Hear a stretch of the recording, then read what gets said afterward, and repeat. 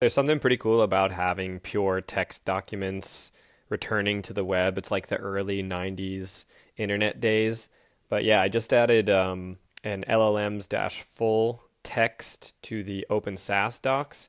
So you can just add this URL in cursor settings, for example, and then you can easily mention the entire uh, documentation for OpenSaaS in your chat context, for example and then it has access, Cursor and the other LLMs have access to this entire nice text document that's easy for LLMs to read to help you develop your SaaS app, for example, if you're doing it with open OpenSaaS.